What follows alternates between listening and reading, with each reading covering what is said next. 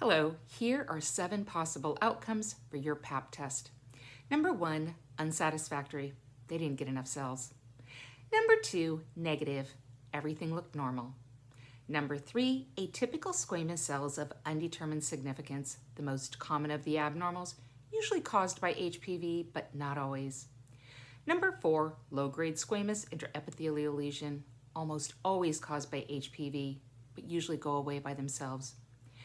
Number six, high-grade squamous intraepithelial lesion, concerning for the development of cancer. Number seven, ASCUS cannot rule out high grade. Not sure that they're high grade, but we consider them high grade until proven otherwise.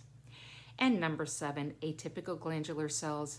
These are most likely precancer or cancer cells. Want more information? Check out my full content video at Simply Women's Health with CeeJay. I am CeeJay, and I am at your cervix.